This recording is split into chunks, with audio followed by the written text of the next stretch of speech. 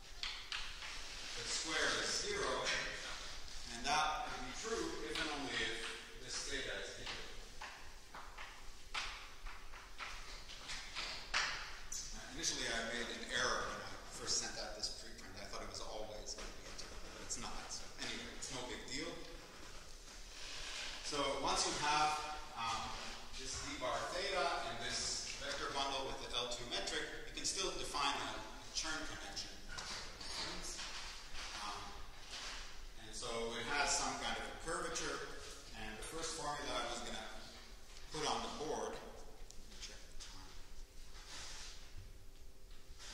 first formula I was going to put on the board was going to be the curvature of this. They, uh, let me call this L theta, so L with this d bar theta. So that's something, but it's kind of a long formula, so I don't want to put it up because I don't think it's going to be particularly helpful, but would have been nice to take a peek, but the main aspect of it is that, um, so in the, this kind of trivial family setting in which Bohr computed this curvature, the, the curvature operator was just uh, a multiplier by the curvature of the vector bundle E. It just sort of multiplies, and you restrict it to directions that are in the horizontal direction, and then you, because it's a product structure,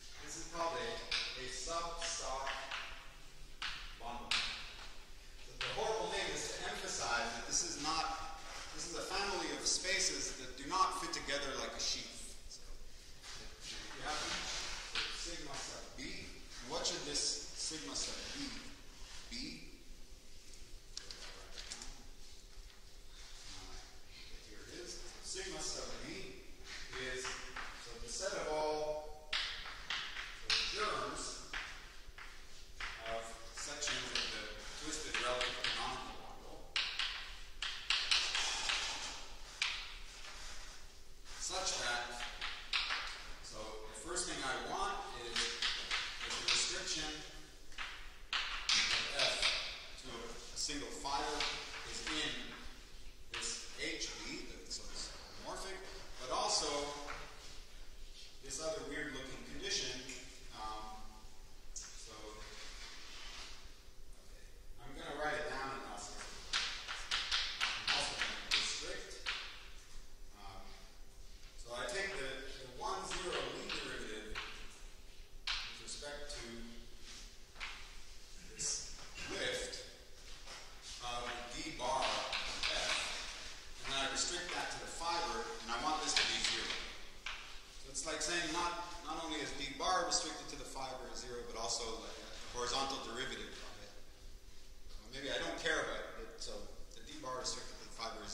this condition, and this is the second order condition. And amazingly, this is independent of this state. It's not a terribly complicated calculation, but it requires. Okay, so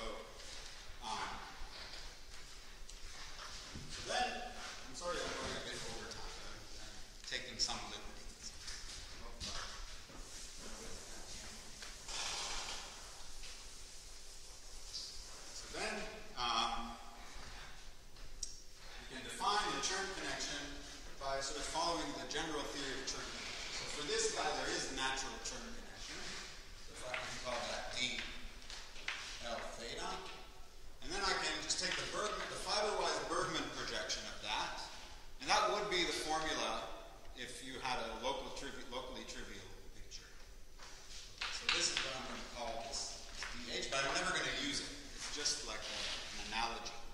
It suffers from the same problem that I mean, you want to restrict it to sections of H. It's not going to be able to hit all points on the fibers. When you compute the curvature, it's going to be deficient. So this is independent of theta. Then the second fundamental form is the remainder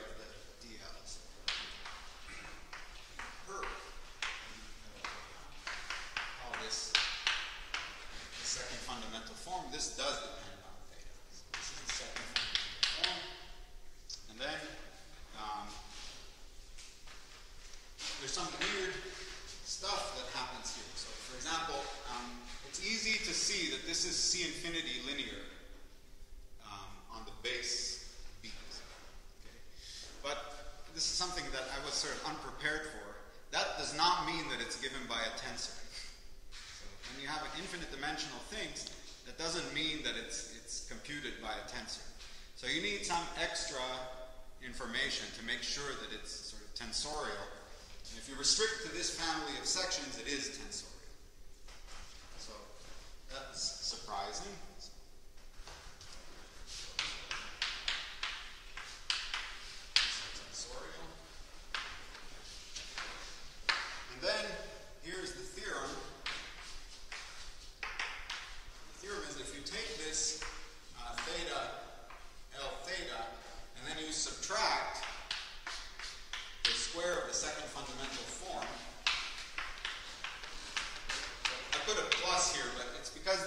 treating these as differential forms.